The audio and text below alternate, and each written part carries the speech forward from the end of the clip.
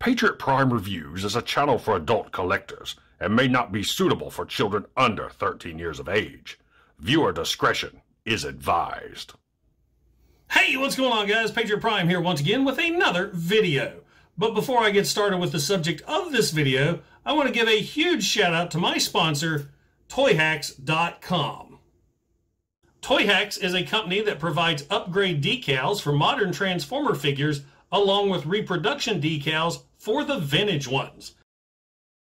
While visiting Toyhax, make sure and check out the Toyhax Armory to see their line of Transformers weaponry in multiple colors and toy stages for awesome display backdrops.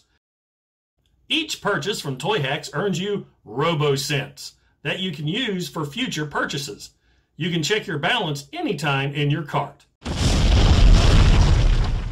Toyhax is a company run by collectors for collectors. So make sure and check out toyhax.com and tell them Patriot Prime sent you. Now, on to the review. The featured bots in this video is the 1984 Generation 1 Mini Bots. Yes, the original little Transformer toys that helped kick off the entire toy line. And what was cool about these guys, they were easy to pick up with your allowance as a kid. They only ranged anywhere from 3 to $5, very affordable and easy to find. I could always see these guys on the pegs at my local Roses and Kmart back in the day.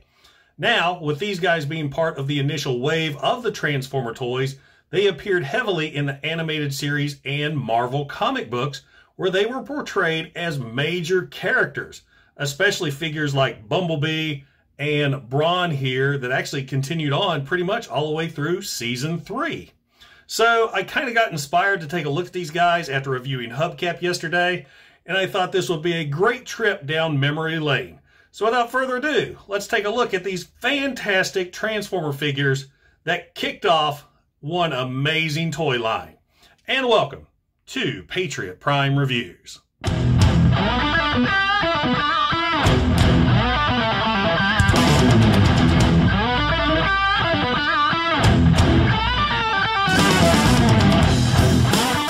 Now we'll start the video off by taking a look at the mini-bots in their vehicle modes. And from left to right, we have Brawn, Bumblebee, Cliffjumper, Gears, Huffer, and Windcharger.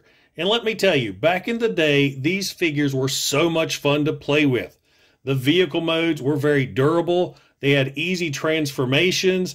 And man, I just had so many adventures with figures just like these. That's why it's so hard to find the original old G1 toys in good shape.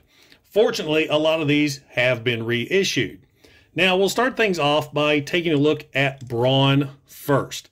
Brawn here is some kind of off-road vehicle, and he looks really good. Lots of molded details on the figure. As you can see, mine's a little loose, but you got the molded in windows, the door handle. I love the front with the chrome. G1 was all about the chrome. A little Autobot sticker there on top, spare tire on the roof, little light details, a roof rack. I just, I love how much detail is in some of these guys. He has nice hard plastic tires that roll really well. Like, like I said, these guys are just fun to play with. Now, transformation to Brawn, he is the more complicated of the group. First thing you want to do with him is you're going to bring the legs down now they will catch. So you want to make sure you get the legs down. And now you've got these little door panels. You're going to pull these out. Make sure the legs are straight across here so you got some clearance. You'll pull these doors out. Mine's going to be a little stubborn. It's been a long time since I fooled with these figures. So after you pull the door panel out, you're going to flip it up and you're going to see this little chrome arm right there on the inside. So bring that arm down while pulling the panel back. So there's one arm there. This one's a little easier. It's looser. Get this all the way out.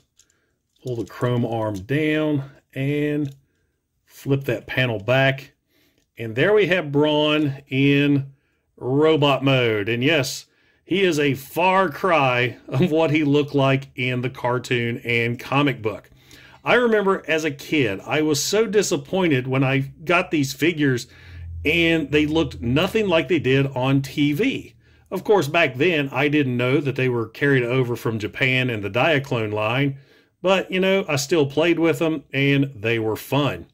Now, back to Brawn. He's got a very robotic head sculpt right there. He's got a silver helmet that he's known for, black visor, and a mouthpiece, mouth plate, excuse me. He's got these scrawny little claw arms, which is so funny because, you know, in the cartoons and comic, Brawn was a bruiser. I mean, he was a very strong Autobot. And this guy, he looks like a Star Wars droid. Stickers on mine still look really, really good. I forget where I got this figure, but I was so happy to finally get one because a lot of the Brawns I would find online were always broke. So there is Brawn.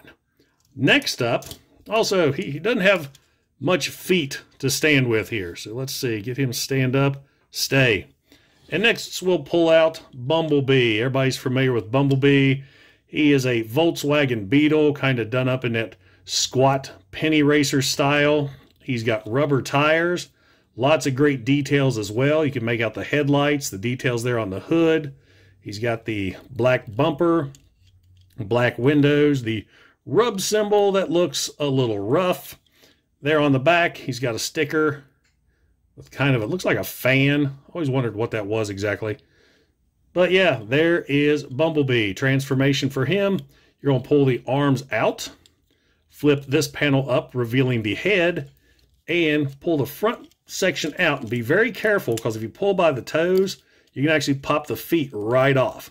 And you're going to swing those feet down, and there you have Bumblebee in robot mode. And taking a closer look at him, yes, another figure that is a far cry from his appearance in the Generation 1 cartoon but he's still pretty cool. Now, as a kid, I did not have the yellow Bumblebee. I had a red version. Both him and Cliffjumper switched collars for some reason. I'm, I'm sure there's a history to that. I didn't bother to look it up. Now, right here, it's funny. I've got fishing line wrapped around his arm. This is way before I knew about floor polish. His arm was really loose, so I took fishing wire and put wrapped around the joint so his arm works. Now articulation, he's a G1. The arms do a complete 360. Toes can go up and down. Head can go up and down. And that's it. So there is Bumblebee. I wanted to show Brawn. I forgot to show his articulation. The arms, they can move up and down. There you go. So let's see. Next up is Cliffjumper. Cliff Jumper is a very squat looking Porsche. And he, he's really good. This was always one of my favorites as a kid. But like I said, I had the yellow version, but still, he, he's a fun figure and one of my favorite ones from the cartoon series. Lots of nice details on him as well. Rubber tires in fairly decent shape and stickers in good shape. Getting him transformed exactly like Bumblebee. Pull the arms out, flip the head up, and get those legs out. Once again, you don't want to pull hard on the feet because they're just clipped in right there. They'll pop right off. And since these are such old figures, you do not want to break that clip. So Cliffjumper in robot mode, he is the only one that looks like his animated counterpart. He actually has the G1 face that you see on TV. And I think that's why I always like this guy. He looks so much like he did on the show. Articulation for Cliffjumper, same as Bumblebee. Arms can do a complete 360. Man, that one's tight. Head up and down. Feet can move. And that rub symbol, that one is shot. So there is Cliffjumper. Next up is Gears. Now, Gears holds a special place in my heart because Gears was my very first Transformers toy. So I just, I love this figure. I think I got my Gears at a church gift exchange. And of course, my very first experience with the Transformers was issue number three of the Marvel Comic series, which featured Gears heavily. So I was tickled with that. Now, Gears here is some kind of pickup with a camper on top. Once again, lots of nice molded details. I love the little vents right there below the windshield. He's got a sunlight, a roof. What the hell do you call that? Sunroof.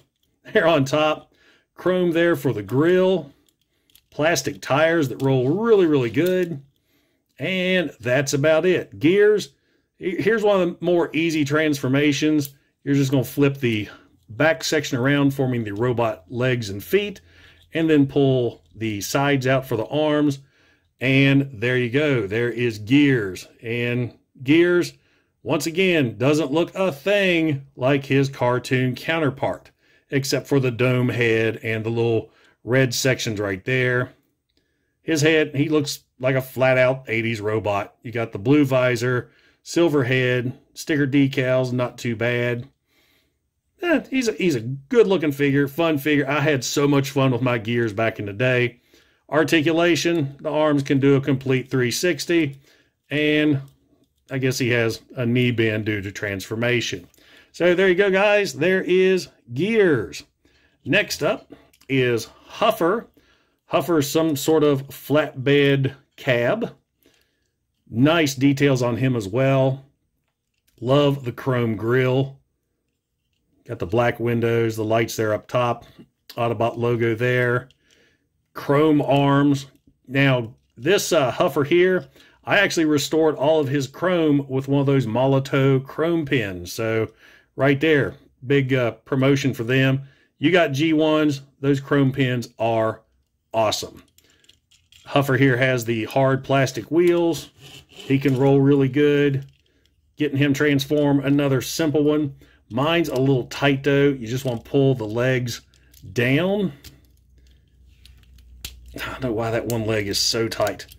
But you get the legs down. You're going to take the cab here. You're going to pull it up, flip around, and it's going to lock in place like so.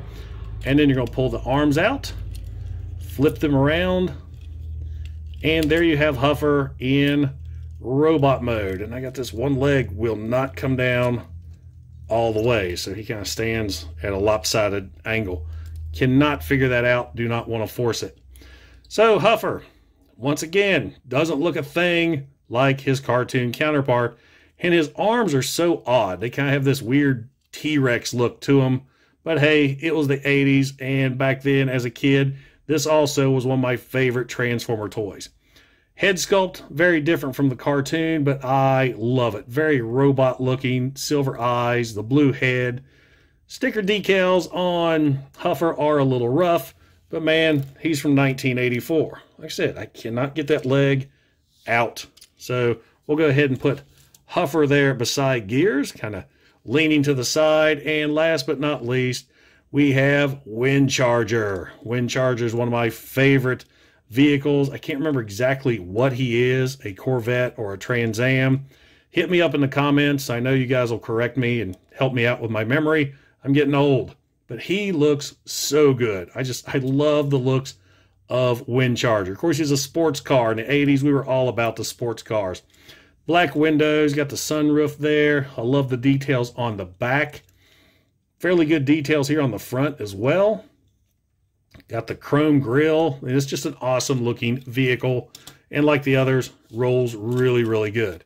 Transformation, his is super simple like gears. You're just going to take the back section of the vehicle, flip those around for the legs. And why is this one sticking? I get nervous when I transform G1s. I don't know why that is sticking. Okay, had to talk nicely to it to get it to open up.